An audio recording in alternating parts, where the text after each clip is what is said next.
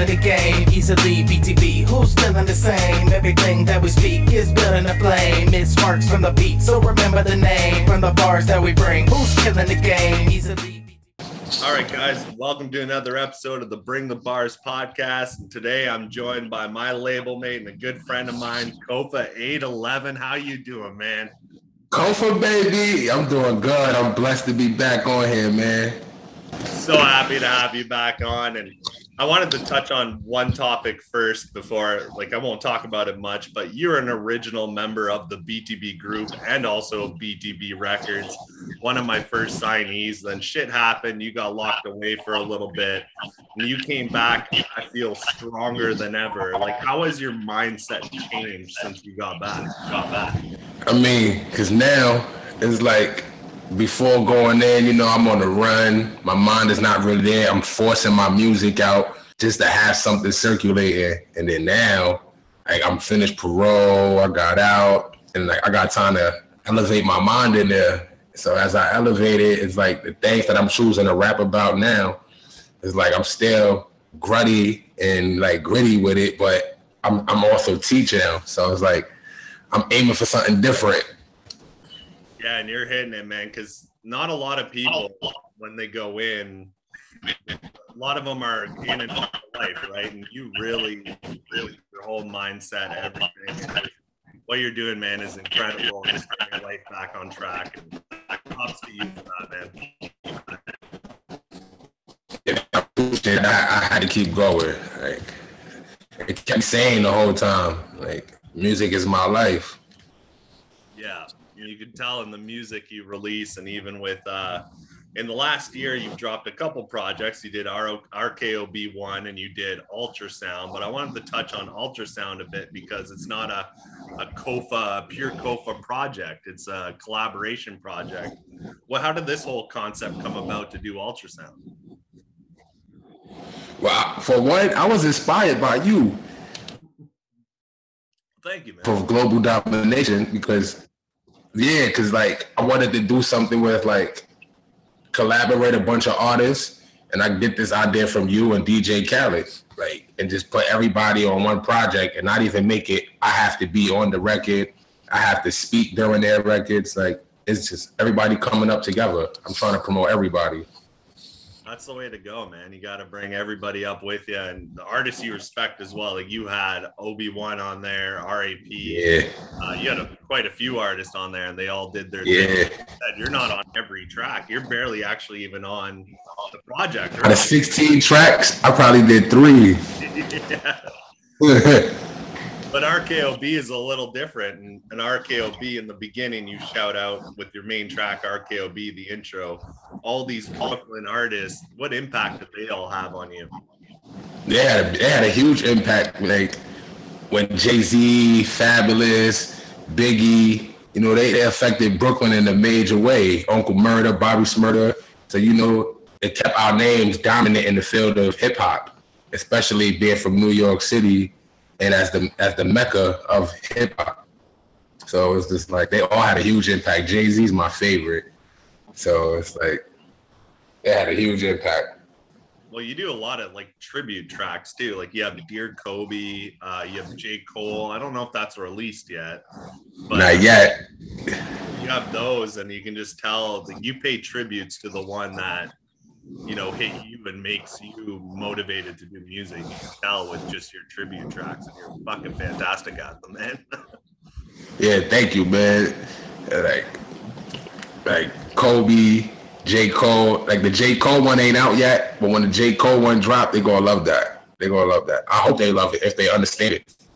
Yeah, well, yeah. I, the whole point of it, like you talk about, even like uh, no features and stuff like that. It's you can just you when you do a solo album. I'm a big believer, and yeah, maybe grab a couple features or whatever, but make it mostly yourself. Compared to yourself with Ultrasound or me with Global Domination, it was just pure collaboration albums. But Yeah. those projects that just show yourself for sure. Yeah, man, I'm at a good space right now in my life. So the music coming August 11th. Uh, um, ah, I said RKOB, RKOB too. July 31st, August 11th, 811. And is the album just going to be titled 811 as well? Yes, the, the album is 811. When It's just a story.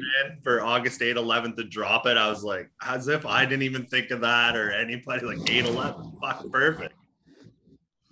yeah, like it's just one. It's a story about 811. I wanted. I had different names for the album, Life on Flushing Avenue, and many different names. But I was just like 811. It's going to be about me. Whether I was in Philly, prison, in love, going through a breakup, it's going to be about me. And yeah, you, you you know, originally from New York, you're living in Philly now. How has that changed been since moving to Philly? It's it's it's all right for where I live at, but Philly is crazy too. Like they, they probably got the highest murder rate right now. Like people die for no reason. So it's it's like New York still. It just I'm in a comfortable space with my wife, my daughter. I'm comfortable. Yeah, and it's one of those where you choose where you go, right? Like you always get those murder spots of the world, but when you're just sticking to yourself and living your life and not getting yourself involved in that shit, Yep. is as dangerous as people would say. Because Chicago too is another one where I know the murder like capita is fucking insane. Yep. You know, you gotta experience things to talk about more things. Yeah. You run out of things to talk about when you're not moving around. Yeah, exactly it. Now you, you got your wife, you're doing all this. You dropped your latest single, Myself. Incredible. Yeah. When you dropped Yeah. you showed me a sneak peek before you even dropped that, and I said, fucking, I cannot wait to see what you're doing next. That was incredible. How did the whole Myself concept come about? I've been working on myself for over a year now. When I when I started it, It- I wanted that to be on R. But I only had a first verse, and Zaloyu actually did a verse, but his engineering and my engineering weren't great at the time. So he's out in Arizona. I get a good engineer. Now a year later, I wrote the verse in prison, the second verse, and then I got out. That's when I, I laid it down and I just I decided to just move on without him because he was too busy. He couldn't do it. So I didn't know who else could even do it. Hmm. Yeah, because that that turned out even your video for it, and it was not what you consider like a typical music video. It was literally videos of yourself, like you live Yeah. your life and everything like that. Was that always the plan from the start to have a video kind of that way? Yeah. So, you know, like mm I know I'm high as shit, KC. I feel like a man. but yeah, that was a dope track. Um, also, one thing I wanted to touch on: a lot of people, like I said, you're an original member of BTB Records. Day one. and when certain shit happened where we split mutually like we t- we never hated each other we stayed friends through it all bad decisions on both sides myself included i'll take responsibility Me too. Up about wanting to come back and i was all for it what like drew you back to btb records Because it's like this these BTB you were the only one that gave me a shot. Like nobody never stepped to me and wanted to help me further myself in my career. Nobody ever gave me any advice. Like everybody was just like, oh, all right, he raps, he raps, cool. He got a hot song. And that was that. And I always wanted my own teams. Like we could just work and just do music. I never had nobody that was willing to do that. And that's why I felt like BTB is family. man when you hit me back to be honest i wasn't expecting it like i said we never had any hard feelings towards each other we support each other the whole Yup.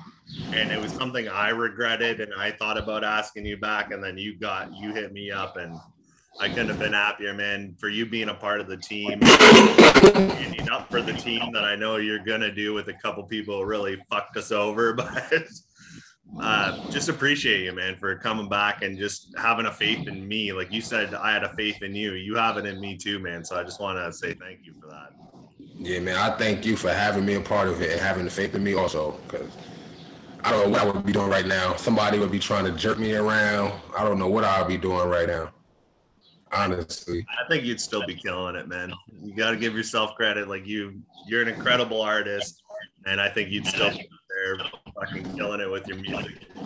Your BTB yeah. BTB album 811. I couldn't be more excited. Uh, RKOB the 8th of July. What, what can people expect the differences between RKOB 2 and your BTB records? Say that one more time. The difference between RKOB 2 and the album? In your album what can they expect to be different between the two since they're releasing kind of close close together yes I, 2 going to be more for get you in the mood for that original Kofa 811 while I, I, I freestyle and rap over other rappers' beats, a lot of popular beats, some unknown beats. It's just a mixtape of me. I'm being in the streets, just being grimy. And then a lot most of them are Brooklyn beats because I'm I'm using that as my throne, like all these legendary Brooklyn tracks. But then in 811, the album, I tell you, I slow down, I tell you stories, I get to show you that I like to party and go to clubs. I get to tell you my love life, how things was going on between me and my wife, like a lot of stuff. Like it's gonna be different, but it's still gonna be great music. It's still gonna be great music. Yeah, so it's more like uh, 811 is going to be more of a personal, and RKO B2 is just kind of showing your skill and love for Brooklyn, pretty much. Right? Yes, yes. Yeah. And at the and at the same time, I hyped you up. Get ready for the album. ready, man. I, I fucking can't wait. You showed me some snippets. We got you on Kofa 16 coming up on the update this Thursday. Yes. I heard those. Yes. The return of Kofa 16 nominated for the BTB Awards. Um, yeah. Speaking of the BTB Awards, I got shout out to all the winners of the BTB Awards, man. Congratulations to all the nominees and winners. Man, that was a fun show to put together, and I in my head I kept saying I need to top the first one. I need to top the first one, and I think it did. And the performances, you closing the show, and you did something different than every other artist did. Is you performed on the streets. Yeah. So like I, had came up with the idea for the performance, was it always in your head you wanted to perform on the streets? No, I was gonna do it in the studio at first. I was gonna go to my man's studio, and we was just gonna do it there. But then I was just like, you know what? I'm looking at how everybody's doing it. Like certain people sent me their previews. So I was like, you know what? I'm gonna go to the streets. Cause I know I'm leaving New York soon. So let me do something in the streets in New York. So I did it like that. Huh? It definitely fit it perfectly. I couldn't have hmm. figured a better thing, and that's why I had I had to have you close the show because I wanted something different than people, you know, just recording inside or whatever. I wanted to end it off on a like a different note, and you representing New York before you left. Yes. Any better, man. yeah, that was a good memorial moment for me, man. I, I enjoyed the whole award show. Like I was watching it, my wife was watching it. She watched it last year when I was locked up. So yeah, yeah, we heard uh, comments from you. You'd send us like you send me your little videos when you were locked up talking about BTB and about the awards. And mm-hmm. having you there fucking sucked big time, man. But having you on this one, perfect. And next yeah. year you'll be nominated for a bunch more because you'll have all this material out. That's for sure. Uh, BTB gonna dominate the award show next uh, next year. We gonna dominate. we gonna dominate no disrespect to the rest of the community. Yeah, because every category, man, was fucking, man, it was tight. That was hard to vote for. The only one I knew in my head that was gonna win was Obi Wan for top album, and I just. Oh yeah, yeah. Like I was like, oh, Obi. I, I listen to a lot of the music. I'm like, yo, Obi Wan shit is just hard. A lot of people be like, "That's your bro." Of course, you're gonna say that. Like, nah, Obi Wan shit is really hard. Yeah, I just knew I heard his album, and I was even nominated for top album, and so were other BTB Records artists. But I just knew, listening to Obi's, I was like, he's gonna get this, he's gonna deserve it. And I tell yeah. up afterwards, and yeah, it was it was kind of a landslide to be honest with you. Yeah, basically. I didn't expect to win anything. I was just I was I was watching just the the support. I know I was performing. Like, I didn't expect to win. My wife was like, "You sure?" I was like, "I do not expect to win. It's not even about the win. Like it's the recognition, and then we all supporting each other." That's what it is, man. Just a huge support system. Like even you don't win an award. Like I was, like I said, I was nominated too. I didn't win. No hard feelings. Yep. Nothing. Just to be there, be nominated, and showcase. Like we had so much talent on that award show. It was fucking unbelievable. Yeah, definitely. Blew me away with that. One of my favorites right now is RAP, man. Rap is my guy, man. That's one of my favorites.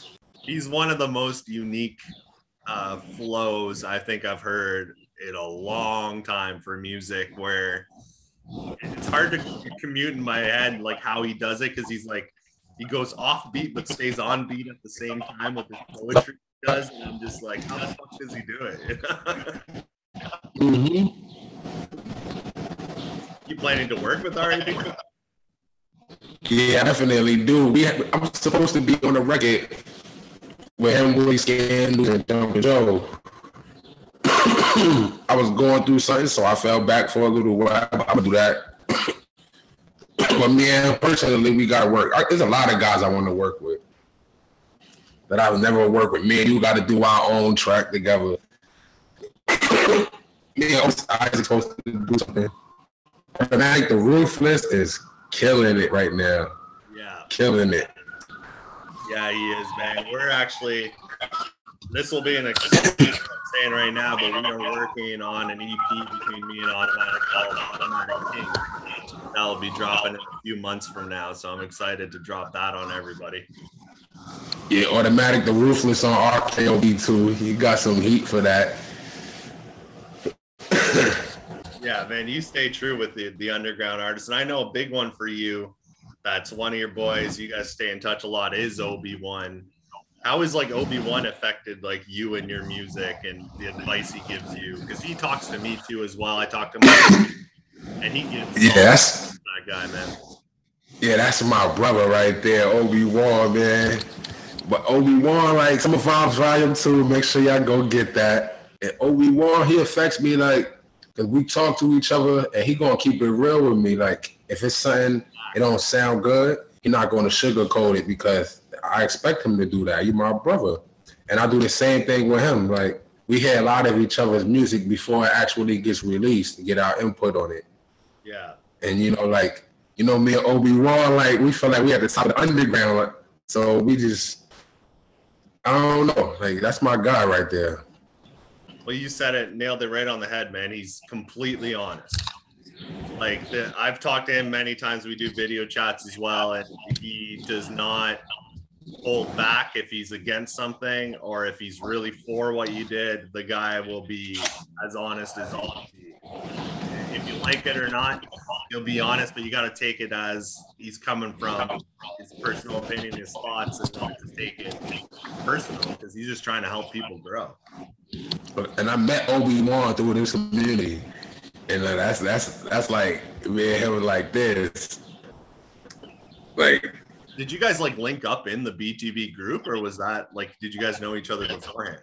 we didn't know each other beforehand, but I had a certain Facebook name before, and he realized the name was affiliated to certain ties. So we he, he understood, and we started talking from there. So that's when we started getting close, talking more. He's from New York City originally.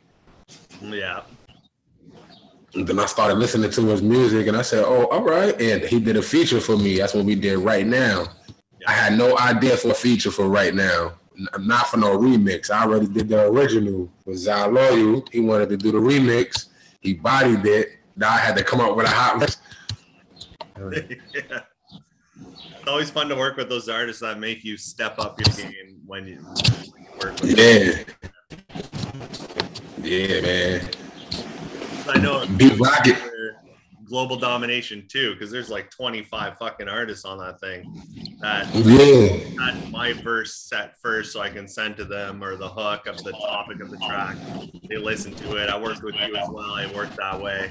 And some verses I got back, I swear I had to go rewrite because I was just like, I That's how I be. I like it like that. I like it like when Willie Scandal was sitting there and watching the features and I'm listening, they all killed it. they all killed it. Jumping Joe and yeah, he's the man. I love Jumping Joe. Yeah, Jumping Joe is the man. Mally Yeah, Joe. a feature on his album coming out, and I love working with Mally, Jumping Joe. Man, they're they're all great guys. Obi, hmm Yeah, man. There's a lot of guys I got to work with. yeah. But going Be back rocking. a little bit, I want to say because you know now you're married, you have a job, you have a full time job. I know you're doing interviews, you do your music. How the how do you balance it all? Man, I'm used to being a before you know I used to be in the streets and I used to just be out for numbers of hours with no sleep, doing the same thing just in an illegal way. So you know, if I could do that same thing illegally, I could put that same time into something that's positive and put that same energy and I'm gonna get better results. I ain't gotta look over my shoulder for it. I could count, I could I could show you where I got it from. Yeah. You know, so I put that same energy into my music. Like music work, I just some, some things some things don't get attention every day, but everything has time. I love that, man. Like you had the work ethic before, but now you're just putting it into the right avenues, and love to hear that for sure. Yeah. Crazy. It ain't easy though. No, but you're doing it, man. You're doing a, things that a lot of people, like I have family members who are still in prison and like you know, and got out, went back in, and just never. So, uh, to you. I can't say it enough because I, my cousin, one of my best friends growing up, is rotting away in a cell right now because he didn't get out of it, and he's there for life now. And it fucking sucks when you hear those stories and like don't have the potential and just do it. You know? It's always the worst. Are you planning? it's fucking rain like raining like crazy out here. We hit some massive storms over here. Fuck, we had a tornado like a couple weeks ago when we were supposed to do the interview. Like two weeks back, I had to cancel on you because our whole city lost power for like four days. Man, tornadoes. Yeah, and it's rare we get them over here. Oh yeah, we don't get them over here either. So if we I was hear that, I gotta move. Not Kofa, baby. No. Don't fuck around with that shit, man. Hell no, I ain't that type of gangster. and going back, you know, RKOB the end of July. Are you planning any more singles to drop in the meantime before uh, the mixtape comes out? Yeah, I'm planning on dropping something any day now on SoundCloud and YouTube. I don't got an actual title for it. It might just be the Lost Tapes of Kofa 811, but I'm gonna drop like 10 tracks. Oh, nice. Non non-profit, just put it out there, promotional. The name going. Huh? To keep the name going in between drops. Yeah, I'm gonna just keep it dropping everywhere. I, ain't- I ain't dropped nothing on SoundCloud in a long time. I'm gonna just put it up there, not even trying to profit off of it. Just budget off of it. Just get my name going. Promotional purposes of it. Yeah. SoundCloud, YouTube, Audiomack as well. If you can drop it on there. I know Audio Mac get, gets a lot of plays still to this day. Yeah, I, did. I always had about it, but I never got into it. But I sure will. Yeah. Just to drop some promotional stuff for sure. Uh, DatPiff as well is another one. Yeah, yeah. Yeah, those are those are dope. And the lost tapes are freestyles and tracks that you just made kind of never did anything with. Yeah, Mike gotta do a Mike gotta do a freestyle with C Mac back to back. C Mac be doing his thing. oh man, he's great. He's got dropped me another freestyle for Freestyle Fire for the update coming out this Thursday, and yeah, he, he loves to freestyle. He's good at it too. Yeah, he is. Got to get you both on one. Yeah, gotta see how that go. When you started, did you start off freestyling, or were you always a writer? I was always a writer. I could never freestyle. Like I think I could, but I get too excited that I'm doing it, and then I end up just fucking up anyway. Like because I'm known as a writer only. Yeah, I hear you on that, man. It's sometimes depending on the mood, it, it might just come out of nowhere. I just go as long as I could. Yeah, and yeah, me growing up as well. Like I always freestyled with some buddies, and that's just what we did. But when I got to writing, I, I can't even really go back to freestyling now because I don't. It just doesn't commute as well as you know writing it down for me. Especially coming out with like metaphors and punchlines and shit. Yeah, that's very hard to me. Yeah, and People you're, like, big, damn, how the fuck?